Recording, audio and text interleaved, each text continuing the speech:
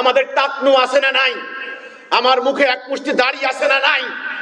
তোমরা যারা এটা নিয়ে আমাকে বিতর্কিত করছ, আমাদের উপর হামলা করছ, ঠিক এই মুহূর্তে তোমাকে গোলাম বানানোর জন্য একদিকে রাশিয়া, একদিকে আমেরিকা, একদিকে ভারত, একদিকে চীন, কামান নিয়ে বসে আছে। যদি আমার রাস্তা পরিষ্কার না করো, তোমার দেশ থাকবে না। তোমার ইমান থাকবে না, তোমার নারীর ইজ্জত থাকবে না। আমার সামনে বাধা দিও না, আমার দাড়ি আছে না নাই, আমার ইমান দেখো, আমার টাকনু আছে না নাই, আমার জেহাদ দেখো। এটা কোরআনে আল্লাহ দেখতে বলেছেন, আজ থেকে এক হাজার বছর আগে হালাকু খানের সামনে বাগদাদের, মুসলমানদের যে দশা হয়েছিল, তোমাদের সেই দশা হবে।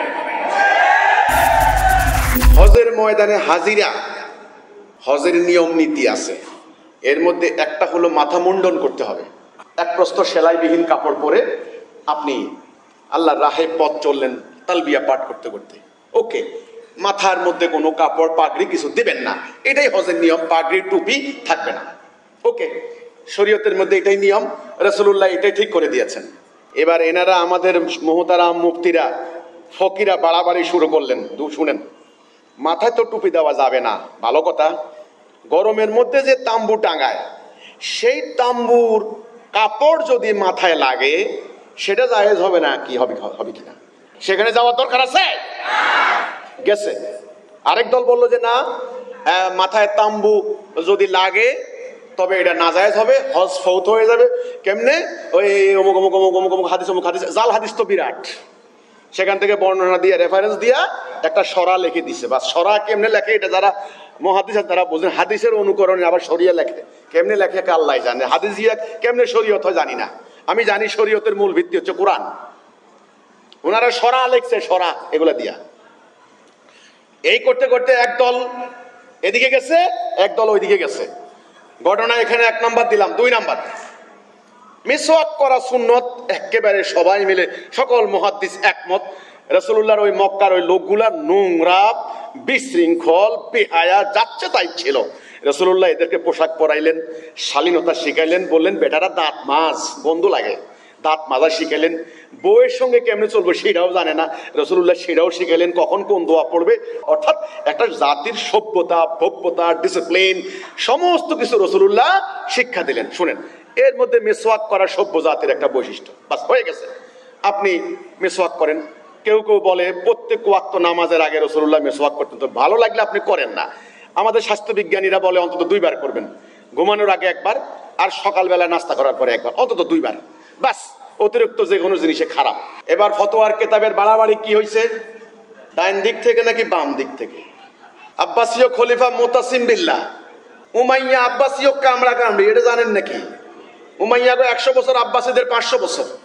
রাসূলুল্লাহর খেলাফত খোলাফায় রাশেদুন যখন ধ্বংস হয়ে গিয়েছে, ওই আলী আর মুয়াবিয়ার দুঃখজনক যুদ্ধের পর, এরপর থেকে খেলাফত শেষ।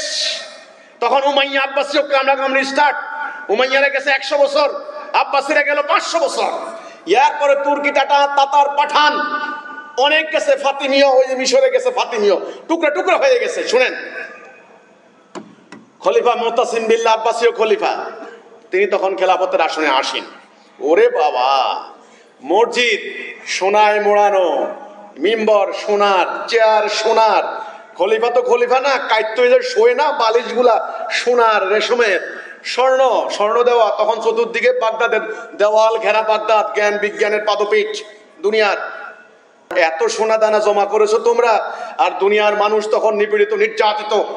তোমাদের কথা ছিল নিপীড়িত মানুষের মুক্তির জন্য তোমরা ছুটে যাবে। মানবতা প্রতিষ্ঠা কর- করার জন্য তোমরা বাগদাদের বসে বসে হেরেনখানা খুলেছ। আচ্ছা শুনেন তর্কের বিষয়। তর্কের সাবজেক্ট হলো মেসোয়াক ডান দিক থেকে নাকি বাম দিক থেকে? একদল ডান দিকে, একদল বাম দিকে। দুই দল দুই দিকে হয়ে গেল। এইবার নিশ্চিত হলো যে রসুল্লাহ ডান দিক থেকে করতেন।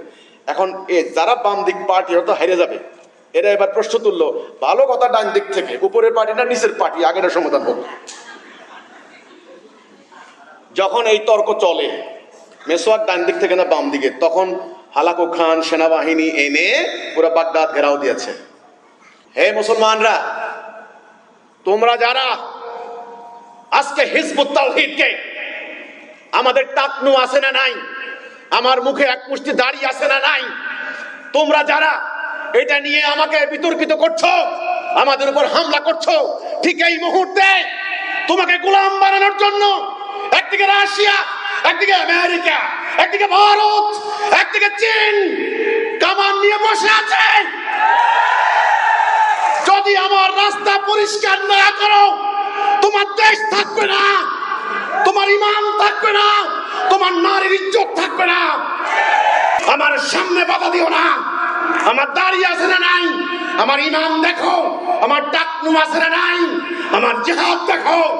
এটা কোরআনে আল্লাহ দেখতে বলেছেন। আজ থেকে এক হাজার বছর আগে হালাকু খানের সামনে বাগদাদের মুসলমানদের যে দশা হয়েছিল, তোমাদের সেই দশা হবে। আজকে তোমরা আমাকে বলছো, আমার টাকনু আছে না নাই? আমার দাড়ি আছে না নাই? তোমরা বলছো, আমার নারীদের মুখ দেখা যায় কি যায় না?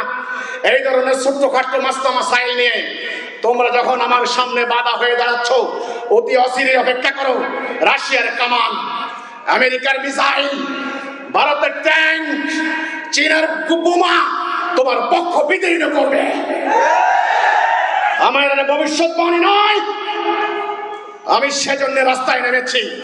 কাজেই ছোট্ট খাট্ট বিষয় নিয়ে বাড়াবাড়ি বন্ধ করো। আমি উদাহরণ দিলাম, দিন নিয়ে বাড়াবাড়ি করে অতীতের উম্মা কি করে ধ্বংস হয়ে গিয়েছে? আজকে ইসলামকে কীভাবে ধ্বংস করা হয়েছে? আপনি যদি কথা শুনেন, তাহলে আপনি হতবাক না হয়ে পারবেন না। একদা লৌহ কঠিন, ঐক্যবদ্ধ দুর্বার দুর্বিনীত জাতি, যোদ্ধা জাতি কি করে পরাজিত হলো? এদের অন্ধত্বের কারণে, এদের বাড়াবাড়ির কারণে, এদের সীমা লঙ্ঘনের কারণে আজকে সেরা জাতি, মরা জাতিতে পরিণত হয়েছে।